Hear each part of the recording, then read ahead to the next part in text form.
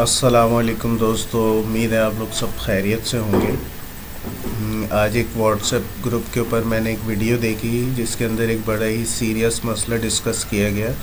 लेकिन उस वीडियो के ज़रिए मुझे फ़ील हुआ कि उस मसले को रिज़ॉल्व करने के बजाय उस मसले को बढ़ाया जा रहा है। उस उस इशू को बेनिफिट फ़राम करने की कोशिश की जा रही है।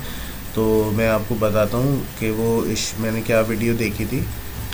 तो ये एक पहलवान है, मशहूर टिकटॉकर्स है फेसबुक पे भी इनकी रील्स आती रहती हैं।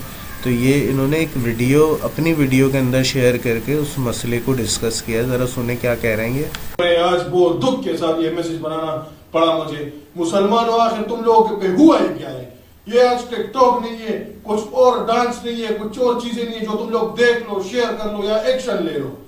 आज सबसे बड़ा जो हमारा इस्लाम पर बात आई है, ये ये आप पहले ये वीडियो देख। अब ये एक तो इनकी अपनी अपेयरेंस ऐसी है कि जो एक रेडिकल मूवमेंट टाइप की जो लोग जब अपना बयान देते हैं तो वो इस तरह के लोगों को साथ खड़ा करते हैं असला बरदार, जबकि इस्लाम से इन सब चीज़ों का कोई वास्ता नहीं है। इस्लाम जो है वो इल्म और मोहब्बत के ज़रिए फैला है पूरी दुनिया में। आज भी फैल रहा है, पूरी दुनिया में इल्म और मोहब्बत के ज़रिए ही फैल रहा है। तो एक तो इनके अपेरेंस का इस्लाम से कोई ताल्लुक़ नहीं है। फिर जो इशू इन्होंने डिस्कस किया है, उसको जो रिज़ॉल्व करने का तरीका बताया, वो बिल्कुल गलत है। उसके ज़रिए उसको फ़ायदा पहुँचाया जा रहा है, उस इशू को और, यानी कि उस ज़ख़म को और खुरेदा जा रहा है, उसको बड़ा किया जा रहा है ज़ख़म को। तो और वो कोई सदी पुराना, एक सदी पुराना हमारा ज़ख़म है इस्लाम का, जिसको हम कादियानियत के नाम से जानते हैं। तो वो ये इस्लाम का वो ज़ख़म है जो जिसके ऊपर पाकिस्तान की अदालत ने इनको गैर मुस्लिम करार दे दिया था। लेकिन अब हम, इशू क्या है कि जब हम गूगल में सर्च करते हैं करंट खैलिफ या प्रेजेंट कैलिफ ऑफ़ इस्लाम तो अहमदियों का जो फ़िरका है, उसके जो इस वक्त हेड हैं, उनका नाम आ जाता है। विकीपीडिया का लिंक आ जाता है उसके ऊपर। तो इस वीडियो के ज़रिए वो इस इशू को उठा रहे हैं। और शेयर कर रहे हैं वकार जका की वीडियो। तो आप उसको भी देख लें, वकार जका क्या फरमा रहे हैं।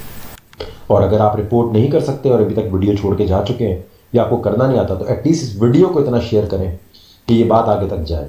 क्योंकि डिजिटली हम लोग वीक होते जा रहे हैं, ख़त्म नबूत के लिए, इसलिए टेक्नोलॉजी मूवमेंट पाकिस्तान अच्छा जी, अब इन्होंने ख़त्म नबूत की बात करके मुसलमानों को जज्बात दिलाने की कोशिश की है कि भाई अब फ़ौर जाके या तो रिपोर्ट करें या फिर मेरी वीडियो को शेयर करें ताकि जो कर सकता है रिपोर्ट वो रिपोर्ट करे।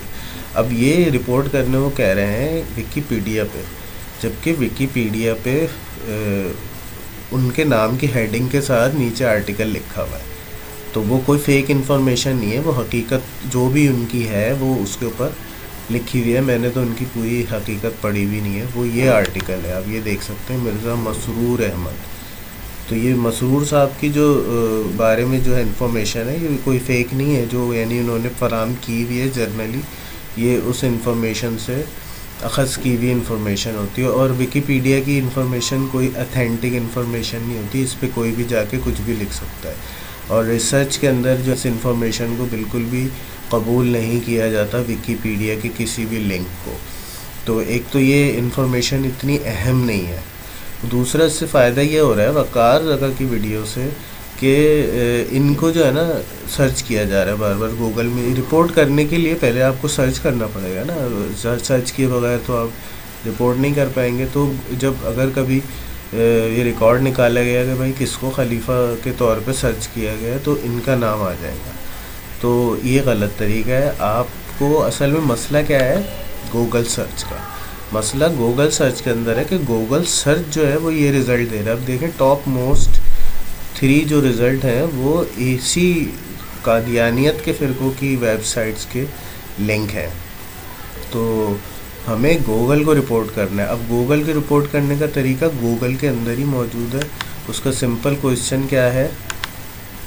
How to report on Google उसके अंदर रिपोर्ट अ प्रॉब्लम की हेडिंग के नीचे उन्होंने आराम से बता दिया कि भाई आप कोई सर्च करें, फिर स्क्रॉल डाउन के नीचे जाके आप फीडबैक सेंड करें। अभी मैं स्क्रॉल डाउन करता हूँ, सबसे नीचे जाके सेंड फीडबैक का ऑप्शन आता है। इसके अंदर हमें अपना इशू डिस्क्राइब करना होता है और उस इशू का स्क्रीनशॉट लेके आपने भेजना होता है। अब जैसे मैंने यहाँ पे सेंड फीडबैक किया तो मेरे पास एक छोटी विंडो खुल के आ गई। अब मैं इसमें कैप्चर स्क्रीनशॉट करूँगा। यहाँ पे देखें, अभी दिस टैब आ गया। यानी कि मौजूदा जो टैब है, वो जो पीछे मेरी स्क्रीन आ रही है, इसने उसको कैप्चर कर लिया। लेकिन यहाँ ऊपर ऑप्शन है अदर टैब का। यहाँ मैं क्लिक करूँगा तो यहाँ सारे वो टैब जो मैंने खोले हुए हैं, वो सब मौजूद है। तो मैंने ये करंट खैलिफ पे क्लिक किया और शेयर कर दिया। अब जहाँ मैंने रिपोर्ट किया हुआ है वहाँ जाके देखूँगा तो यहाँ पे ये स्क्रीनशॉट जो मेरा है करंट खैलिफ वाला ये यहाँ पे आ गया अब मैं यहाँ पे मैंने जो वर्ड पे मैसेज टाइप किया हुआ है कि I did a research on Google about current caliph of Islam and in this top result it gave a Wikipedia link of current caliph uh, the Ahmadiyya sect which represent only a small number of people from India. I want to protest regarding this false information because the hearts of Muslim, Muslims worldwide are sad. So this fake information should be remove ये मैंने छोटा सा एक matter बनाया और जो मेरे protest है उसको मैंने रेड कलर कर दिया है। और आप ये देखें जो अहमदिया लिखा हुआ है इसके नीचे भी रेड लाइन आ रही है। तो ये जो बर्ड है ना जो सॉफ्टवेयर है वो भी इस नाम को कबूल ही नहीं कर रहा है।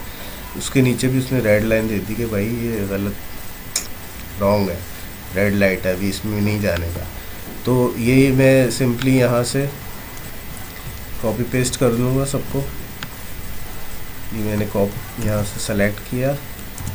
यहाँ जाके मैं पेस्ट करूँगा और सिंपली सेंड कर दूँगा। ये मैंने सेंड कर दिया रिपोर्ट सेंड थैंक यू का मैसेज आ गया। असल तरीका ये है कि गूगल सर्च को रिपोर्ट किया जाए, ना कि विकीपीडिया पे जाके उनके व्यूज़ बढ़ाए जाए। तो आप उनके व्यूज़ बिल्कुल भी ना बढ़ाएँ और इस तरीके मैं अपनी वीडियो के नीचे ये मैसेज भी पेस्ट कर दूँगा। उम्मीद है कि आपको इस वीडियो के ज़रिए जो मैसेज मिला है, उस पर आप फौरी तौर पे अमल करेंगे और गूगल सर्च पे जाके मैसेज करेंगे कि जो इन्फॉर्मेशन दी जा रही है गूगल के ऊपर, कि इस्लाम का करंट खैलिफ कौन है। तो वो बिल्कुल फ़ेक इन्फॉर्मेशन है, इसको फौरी तौर पर दुरुस्त किया जाए। ये बहुत बहुत शुक्रिया।